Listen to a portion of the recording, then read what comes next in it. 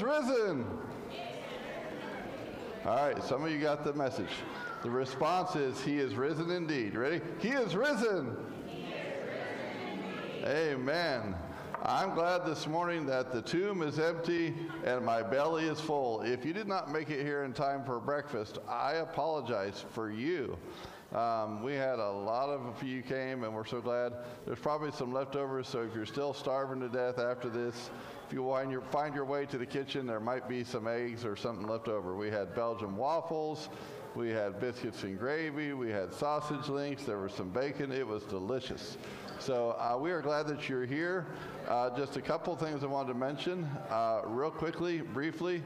There is uh, sort of, the choir is going to be doing some music, so we're going to be less preaching, more singing, worship, celebrating today. We got a video we're going to start out with. At the very end of the service, we are taking up a special love offering as you exit at the very end for uh, fence repairs. Just want to put that in. That's in lieu of the regular offering. If you're a visitor here, just wanted to welcome you. Thank you so much for being here today.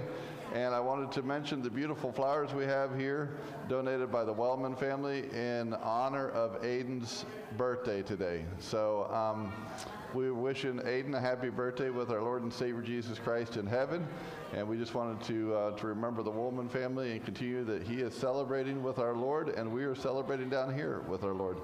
And uh, is there anything that I forgot to mention? Does it sound good, Cody? Am I good? All right. Well, let's just open with a word of prayer, and then our praise team's going to come, and we're just going to begin to worship. Father, thank you for the glorious good news of Easter Sunday morning.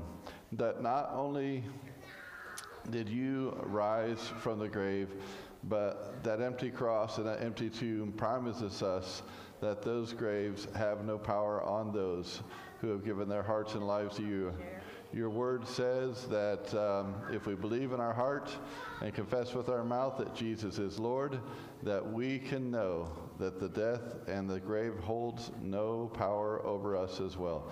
So this Easter morning, we give you thanks and praise for the glorious uh, good news of your love, of your salvation that gives us the best life here and now and the best life yet to come as we go and join those who've gone on before us to their eternal reward in heaven with you this Easter morning. I pray that you would allow our hearts to be lifted, allow us in the, the season of dryness that we have experienced.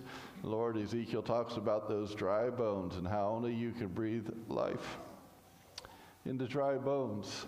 We thank you that this morning we can give you praise that even in these bones you can breathe some life into us as we celebrate the good news of the gospel of peace that assures us the best life now and the best life yet to come. Give us your grace, grace and your mercy as we celebrate together, meet the needs of those who are here today.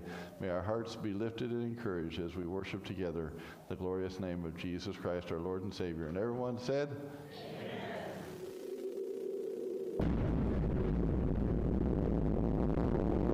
It's Friday. Jesus is praying.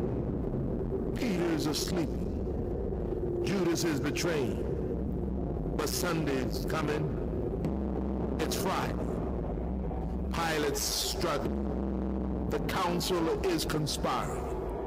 The crowd is vilifying. They don't even know that Sunday's coming. It's Friday. The disciples are running like sheep without shepherd. Mary's crying. Peter is denied. But they don't know that Sundays are coming. It's Friday. The Romans beat my Jesus. They robe him in scar. They crown him with thorns. But they don't know that Sunday's coming. It's Friday.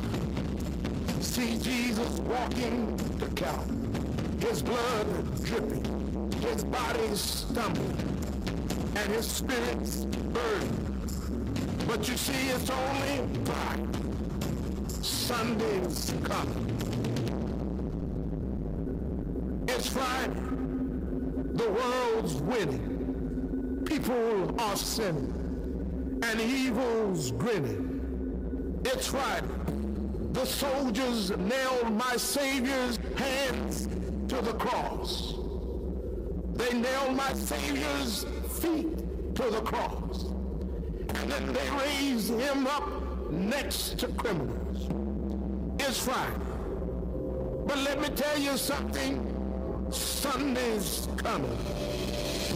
It's Friday. The disciples are questioning what has happened to their king. And the Pharisees are celebrating that their scheming has been achieved. But they don't know. It's only Friday. Sunday's coming. It's Friday. He's hanging on the cross, feeling forsaken by his father, left alone and dying. Can nobody save him? Oh, it's Friday, but Sunday's coming. It's. The sky goes dark. My king yields his Friday. Is lost. Death has won. Sin has conquered. And Satan just a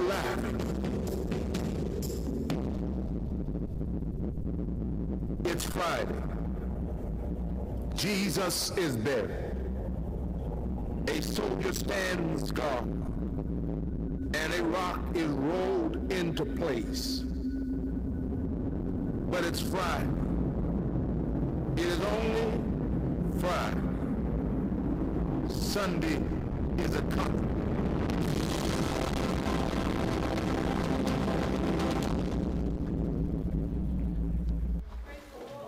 Brothers and sisters, Sunday is here.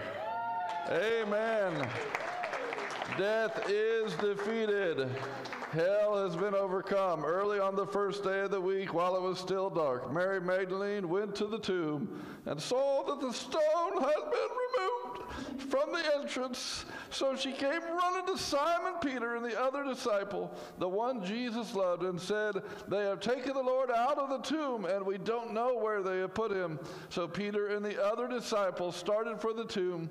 Both were running, but the other disciple outran Peter. Amen. And reached the tomb first. He bent over and looked in at the strips of linen lying there, but he did not go in. Then Simon Peter came along behind him and went straight into the tomb. He saw the strips of linen laying there, as well as the cloth that had been wrapped around Jesus' head. The cloth was still lying in its place, separate from the linen. Finally, the other disciple who had reached the tomb first also went inside. He saw and believed. They still did not understand from the scripture that Jesus had to rise from the dead. Amen. Friday is past, Saturday is past, and Sunday is here. Amen. Praise the Lord. Worship with us this morning. Give him the glory. Death and hell have been defeated. Let us sing his praises this morning.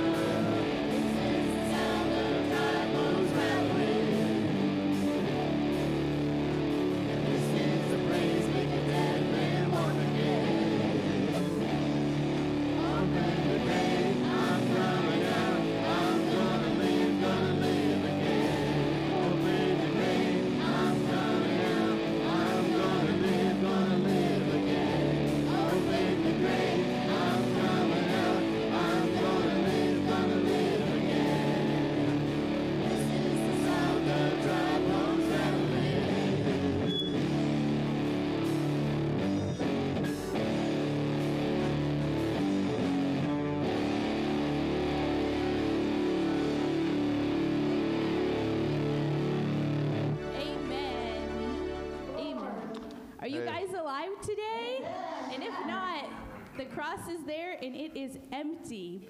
We can live freely, and I'm so thankful we can live alive no matter what's going on in our lives because our Savior came to give us life. So And- we are going to go ahead and move on to friendship And time. So before we go on to friendship time, uh, if in case in case that wasn't loud enough, don't worry. Just wave your hands, and we'll keep. The more you wave your hands, the more we'll turn up the volume.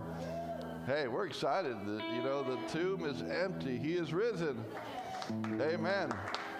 Isn't it great to know that even though death looms everywhere we look, that new life always springs forth? So, you know, one one of the things I learned from one of my great theological influential movies, Jurassic Park, is that life always finds a way. So, Nick and Taylor, could you kind of move into the center aisle as we go into friendship time?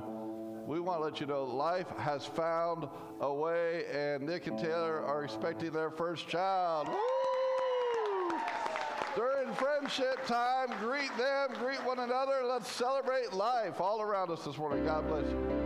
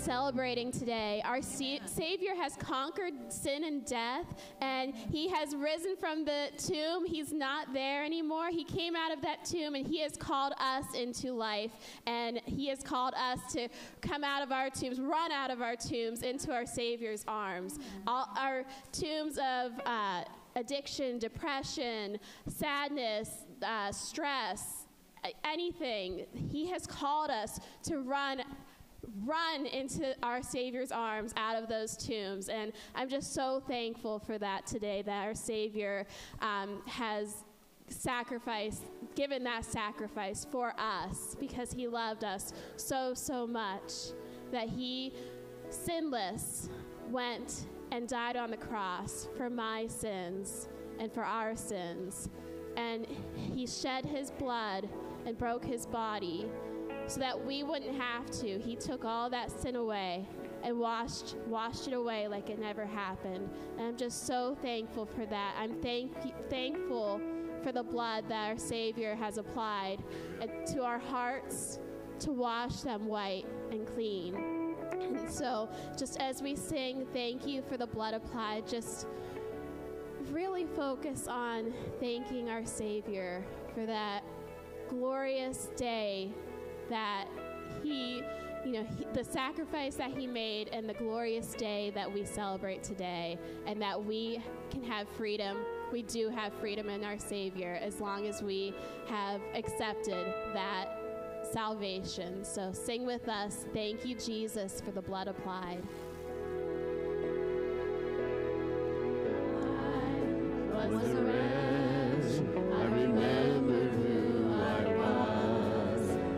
Thank you.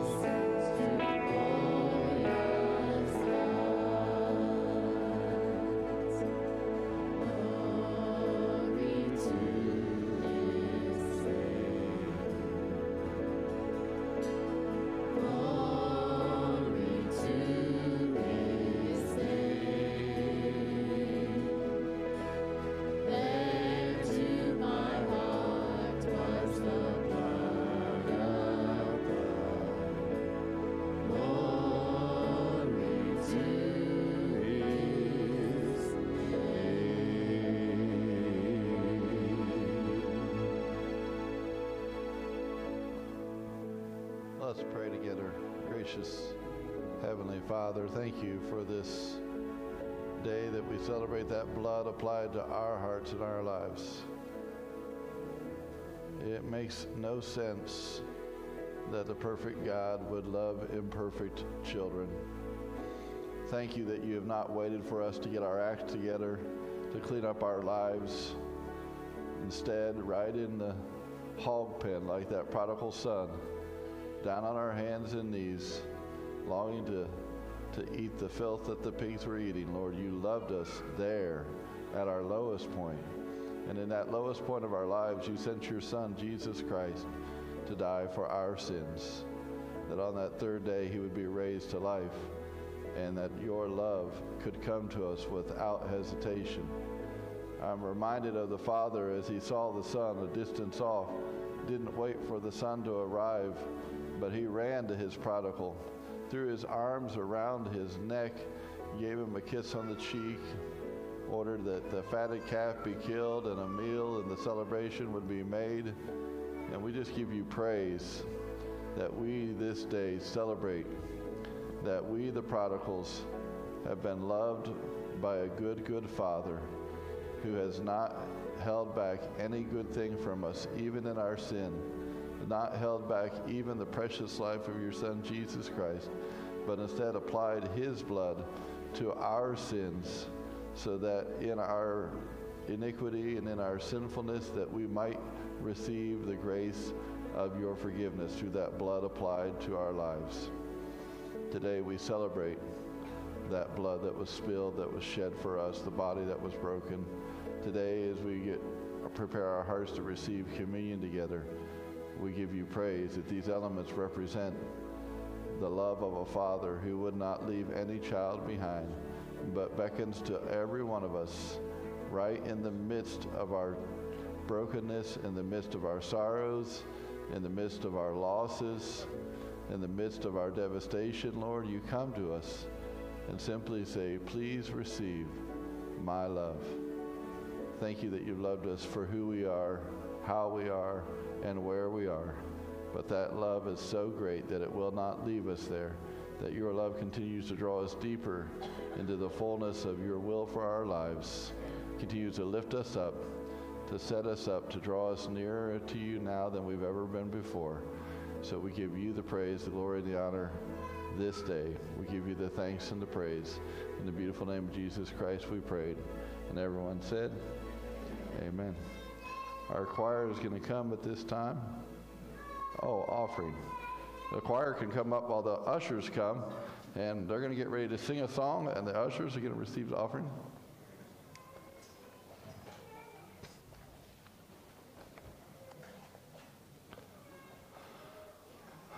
Will, would you pray for the offering as we receive our morning offerings?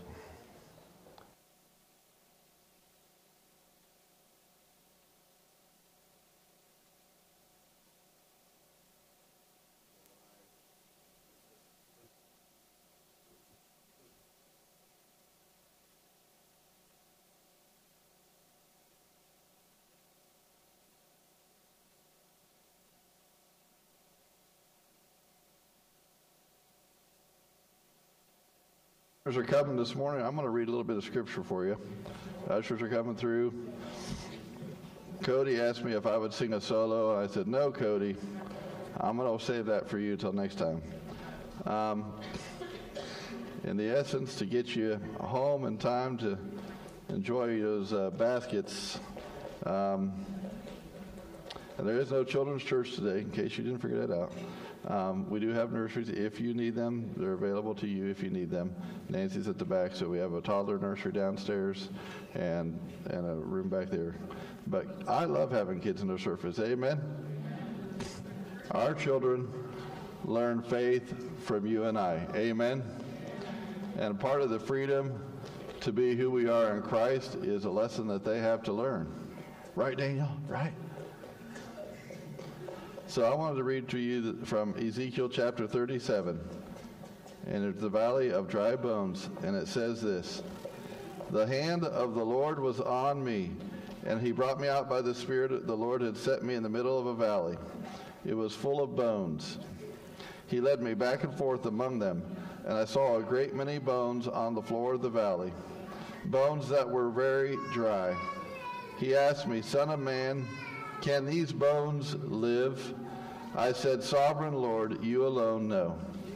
Then he said to me, Prophesy to these bones and say to them, Dry bones, hear the word of the Lord. This is what the sovereign Lord says to these bones I will make breath enter you, and you will come to life. I will attach tendons to you, and make flesh come upon you, and cover you with skin. I will put breath in you, and you will come to life. Then you will know that I am the Lord. So I prophesied as I was commanded. And I was prophesying, there was a noise, a rattling sound Sound like a good song, amen? A rattling sound, and the bones came together, bone to bone. I looked, and he says, I looked, and tendons in the flesh appeared on them, and skin covered them, but there was no breath in them. Then he said to me, Prophesy to the breath, prophesy, Son of Man, and say to it, This is what the sovereign Lord says Come, breath from the four winds, and breathe into these slain, that they may live. So I prophesied as he commanded me, and breath entered them. They came to life and stood up on their feet, a vast army. Then he said to me, Son of man, these bones are the people of Israel. They say, Our bones are dried up and our hope is gone. We are cut off. Therefore prophesy and say to them, This is what the sovereign Lord says My people, I am going to open your graves and bring you up from them. I will bring you back to the land of Israel. Then you will be my people you, my people, will know that I am the Lord when I open your graves and bring you up from them. I will put my spirit in you, and you will live, and I will settle you in your own land. Then you will know that I, the Lord, have spoken, and I have done it, declares the Lord. I don't know about you, but it feels like since 2019 there's been some dry bones. Amen. We've had a season. I heard somebody talking about the weather the other day, and they said with all the rain that we've having, that actually in America, he said there has been a 23 year drought. Did you know how dry it was? Well, I got news for you. That drought extends far beyond the grass and the garden and the fields.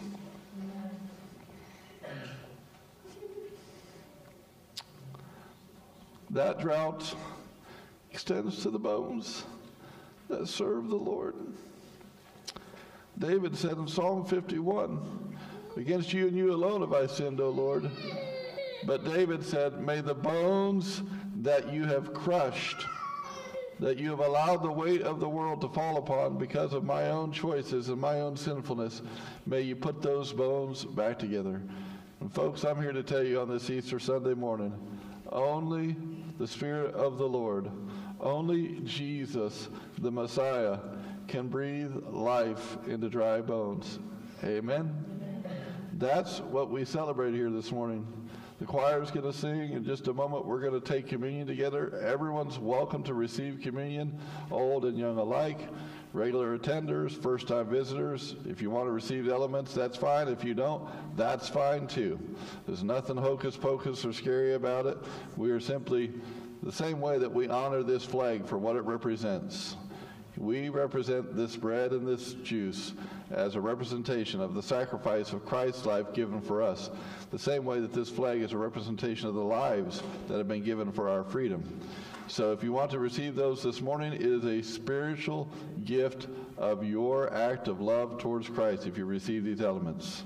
But if you this morning are feeling a little dry, if you this morning are feeling like the enemy has been beating you up, amen. How many of you remember Rocky?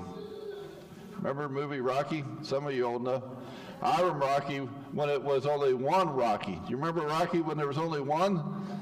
And two and three and four. There's what, five Rockies and three Creeds now. Wow. What a franchise. But I remember that first Rocky because remember, he was on the floor. He had to have his eye cut so he could, so he could see. He was down. Apollo had him on the ground. Apollo thought, I got him beat. I've got him down. I've got the victory here. But Rocky refused to give up. That cross represents a God who refused to give up on you and me. And you might feel like you've gone 10 rounds with Apollo Creed this morning in your spirit, but I've got news for you. You might be down, but it doesn't mean you're out. Amen? So this morning, the choir is going to sing Jesus Messiah. This morning, as you listen to the words of this song, and as we receive the elements of communion, allow the wind, the Spirit says the four winds, that word wind can also be interpreted as spirit. God said, prophesy my spirit to come into you. This morning, if you've been beaten, if you've been battered, if your bones are a little dry, and it's time for a little fresh wind, a little fresh fire. Go back to a study that we did. If it's time for you to breathe a little new life into your old bones, then this morning, just say, Jesus, Messiah, thank you that you died on that cross for me. Come into my heart, come into my life. Spirit, breathe life into me. Worship together with us as the choir sings this morning.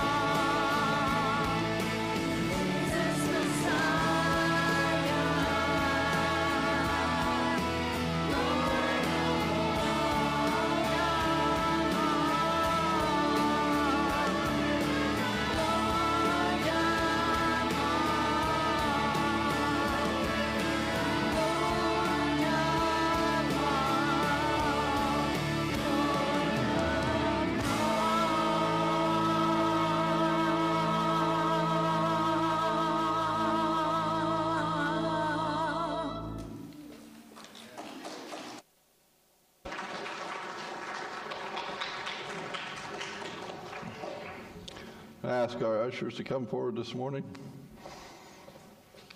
As they pass the trays to you and you receive the cup and the bread, I ask that you would hold those elements till we receive them together. Let's give prayer and thanks. Father, we give thanks for these elements, for the bread and for the wine, the reminders of the body and the blood of Christ, broken for us and spilled out for us. We give you thanks for these elements, and as we prepare to take them, may you search our hearts. Help us to let go of the things that have taken hold of us, that keep us from trusting you, the things in our hearts that we feel unworthy about, the things in our lives, Lord, that would, would give us any hesitation to simply run to the arms of the loving Father who seeks to embrace us. As we receive these elements, I ask that it would be an act of your grace spilled into our lives. And if there is anyone here, Lord, who does not know that eternal hope of the blood of Christ, of the body of Christ that sets us free from the law of sin and death, may we, in the taking of these elements, simply make it an act of confession that we believe that you are the Son of God. We believe you sacrificed your life for us. We believe that you raised on the third day. And as we receive these elements, we believe that we receive the gift of your grace wrought for us through an empty cross and an empty tomb. We give you praise and thanks. In Christ's name we pray. Amen. Receive the elements, hold on to them until we receive them together.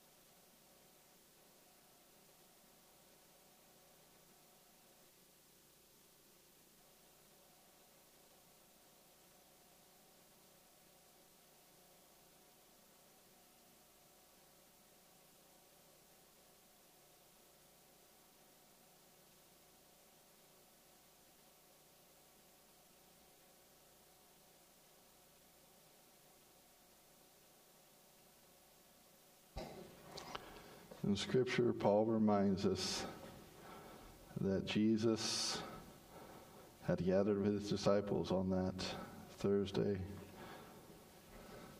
the very next day that he would be sacrificing his life. And he took a loaf of bread, and after the meal, he broke the bread, saying to them, This is my body, which is broken for you. Today, as you receive the element of the bread, be reminded that Christ, in a tangible way, laid down his body for you. Take and eat in remembrance of our Lord.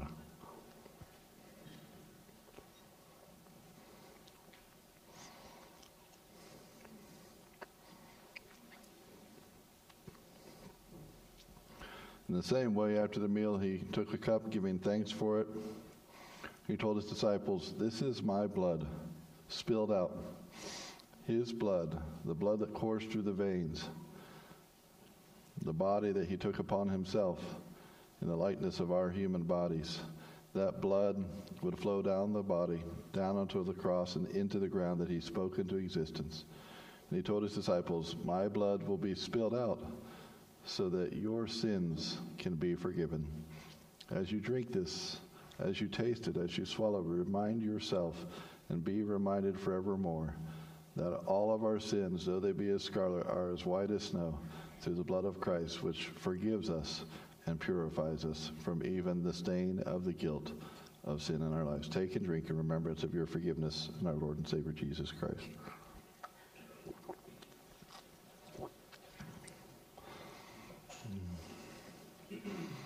Lord, we give you thanks.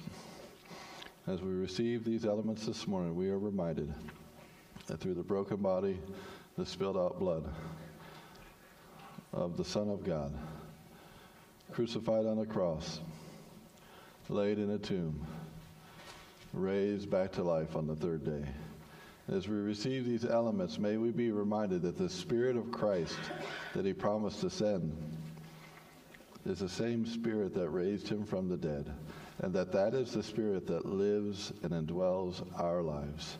Thank you that your grace renews us, restores us, and reminds us that your grace and your healing and your deliverance comes not for the lack of the storms in our lives, not for the lack of a difficult circumstance, not for the lack of drought and hurricanes and dry bones, but right in the midst of the valley of our driest days.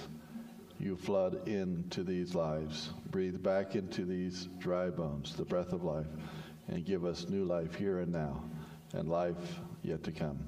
We give you praise and thanks this Easter Sunday morning for the gift of an empty tomb, for the gift of filled hearts and of whole lives that can be restored into your image as you call us to trust you. We don't seek understanding today. We seek only to have a deeper faith and a deeper trust of your love and your deliverance. In Jesus' name we pray. And God's people said. Listen to the words of this final song as we close our time together.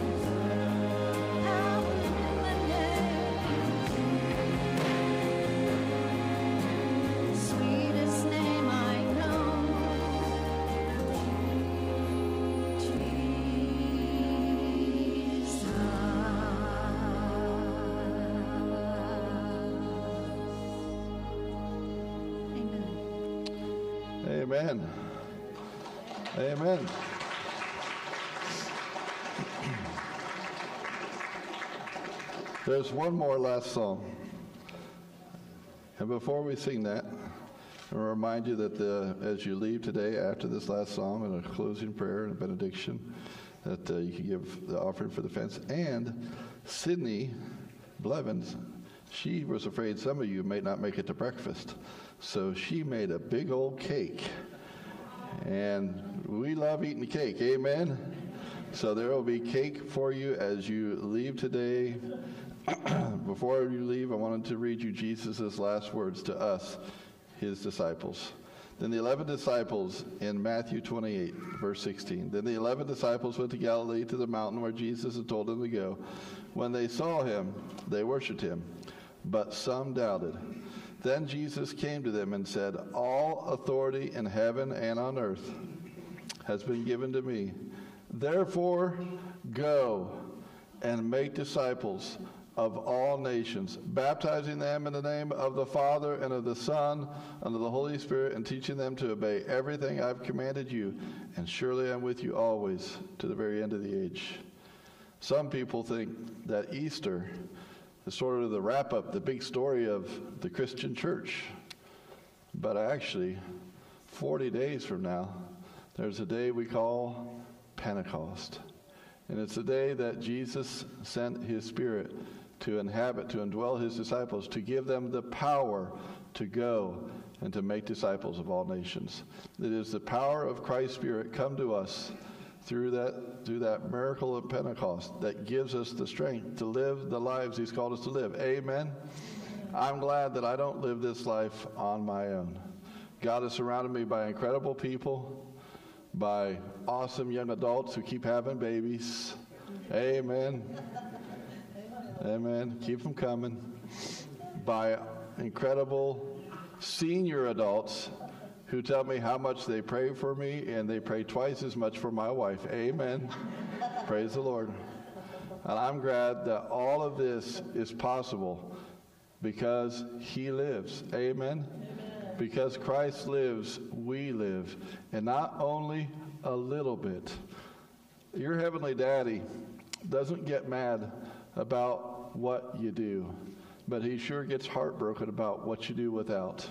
When we forego peace and joy and hope and love, his heart breaks because that cross and that empty tomb were given so that you could have the fullness of his spirit, of his life, right here and right now. I've said it before and I'll say it again. If I got to wait until I'm dead, to start enjoying the benefits of my faith in Christ, what's the point?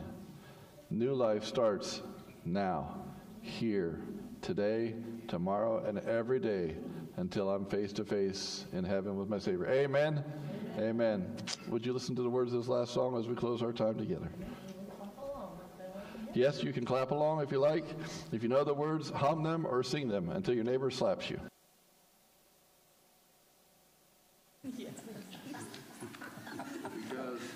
Jesus is alive. Amen. From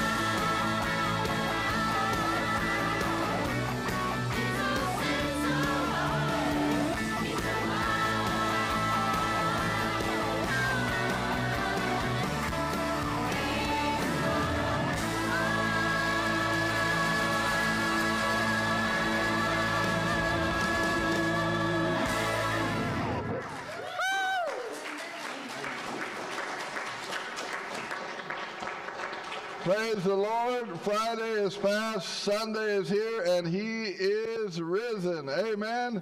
He is risen indeed. Go in the grace and peace of our Lord and Savior Jesus Christ. Greet one another as you go.